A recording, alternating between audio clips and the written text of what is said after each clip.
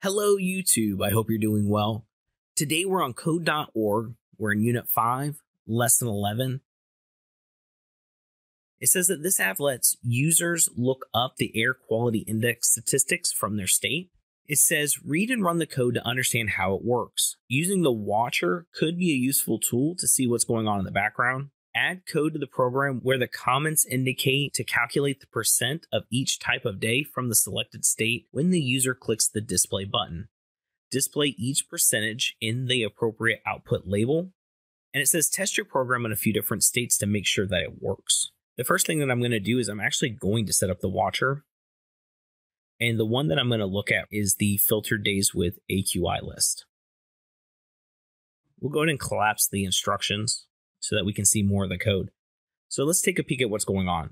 Immediately, what's going on is we're creating a list of variables and we're going to a table to get information from different columns within the same table.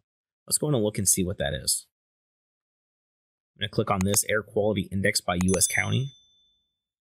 Within this table, I can see states and I can see counties then I see different days with AQI, and it's different for each of the counties.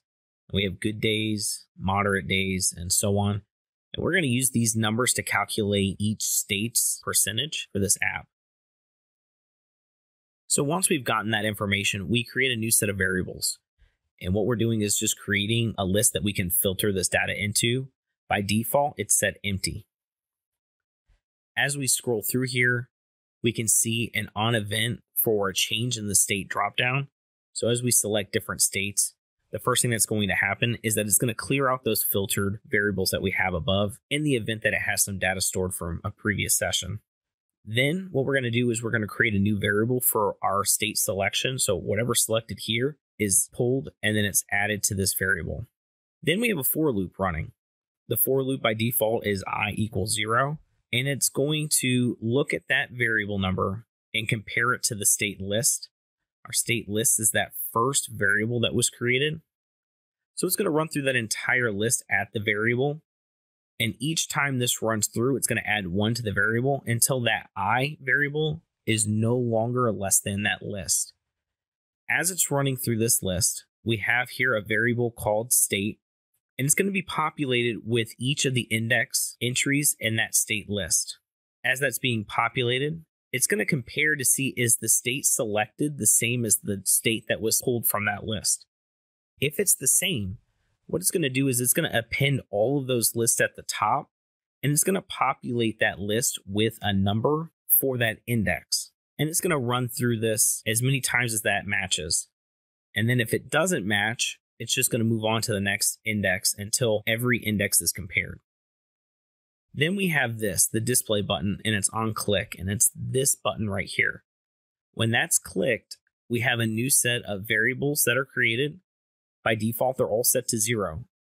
Then we have another for loop where I is being compared again with the list of the filtered days with AQI. And it's going to compare that index. As long as that number is less than, it's going to run through this entire for loop each time it runs through, it's going to add one to that variable until again, this variable is no longer less than the list length. Each time that it runs through, we have a set of variables and each one of these variables is a calculation. So again, by default, it's zero, but each index is then added to that zero and then all of the other index entries until we get a total for everything within that state for each of these categories we're going to have to create code to make a percentage that eventually outputs to here. And then we have some on click events. These on clicks are for this section right here. If you click this, it takes you to a different screen. And then within that screen, there's a back button. Let's go and run the app just to see what populates.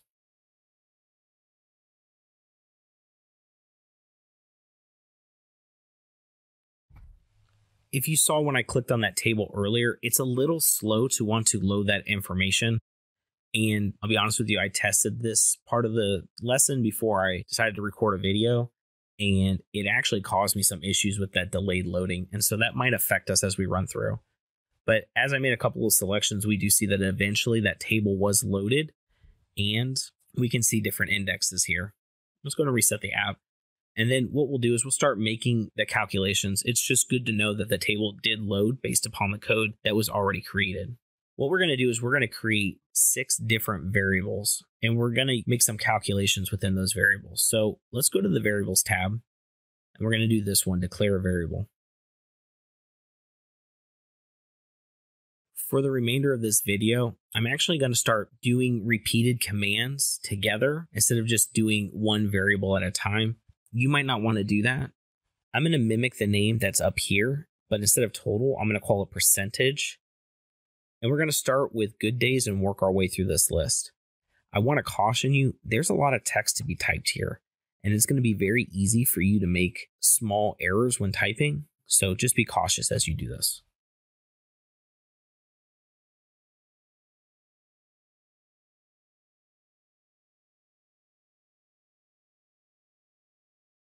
After typing all those, hopefully I didn't make a mistake for each of these variables, I said we were going to make a calculation. So let's go to the math section. I don't believe we've used the math round yet within our lessons so far, but we're going to use it here. Simply all it does is it takes our calculation and it either rounds it up or down based upon the numbers. Within this, we're going to do two calculations. We're going to do division and we're going to do multiplication as that happened, it put parentheses around my multiplication. Honestly, it doesn't really matter for these calculations, but I'm going to delete it out. You should note that as you make calculations that order of operations is important. It might do a calculation that you didn't want yet. We're going to do this variable right here, total good days, and we're going to divide it by total days with AQI. And then we need to multiply that by 100. And I meant to already show you this, but I didn't. I went ahead and I downloaded that table to Excel. And this might help you visualize what we're doing. So we have all of our counties here within Alabama. We have days with AQI, we have good days, moderate days, etc. This number right here is just a simple sum of this column. This one does the same thing for the good days. This calculation here is good days divided by days with AQI. It also is multiplied by 100, which we're about to do. This one is that same calculation except for moderate days divided by days with AQI, but this one is not multiplied by 100. The reason for the multiplication is so that we get that full percentage in our calculation, and our numbers should match. And of course, we did rounding, so these might vary just a little bit, but that round will either push the number up or push it down for the remainder of these variables, this is going to be almost identical with the exception of the numerator being different for each of these. So what I'm going to do is I'm going to click show text. I'm going to do a little bit of cheating. I'm going to copy these for each of these. This saves me a lot of typing, a lot of possibility for mistake.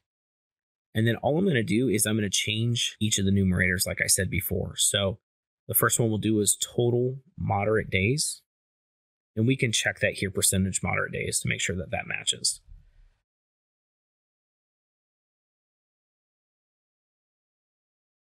And that was just a lot faster than having to type out everything and carry all those blocks of code in. You should do what you feel comfortable with, though. If you don't feel comfortable doing that, don't do it. The last thing that we need to do is set our text for each of these six sections. So let's go to the UI controls and we're going to do set text. Our IDs are going to be each of these. Now, we see the title here, Good Days. Each one of these is the title plus output. The only thing you should be cautious of is we have unhealthy days here, but this is for groups. This one's just unhealthy days, and we're going to see two different variations of the output.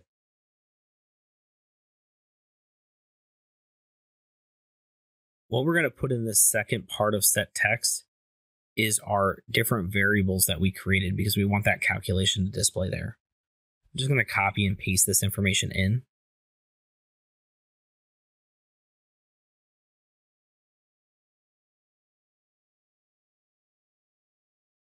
And of course, if you just want to eyeball these, these should have similar names. All right, now that we've done that, let's go in and run the app.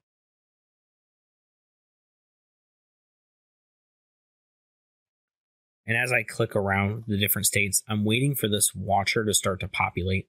If you're on a slow connection or maybe their website's a little bit bogged down, it might be a little bit slow to output those numbers. But now that we've done that, we should be able to display the results. And we can see here 93%. If we compare it with our Excel sheet, it was 92.5 and it used that math round to round up. Those numbers look good. Let me go ahead and show you what would have happened had we not used math round. Go ahead and reset this and wait for the watcher. All right, now that that's going, let's go ahead and click calculate. We can see here that our number is 7.49185%. That just allows you to see the difference between math round and not using math round. There's really a lot of moving pieces within this app, and at first glance, it could be confusing you should definitely take a moment just to kind of outline the code and see what's going on before you begin jumping into writing the different math portions. And then the math portions of this app can be a little bit difficult too, if math might not be your strong suit. If for some reason you've run through this, you don't exactly feel comfortable with what we did, I would encourage you to go and click the version history, reset it to its default, and then rebuild this app just until you feel comfortable using these pieces. But when you're done, go ahead and click finish.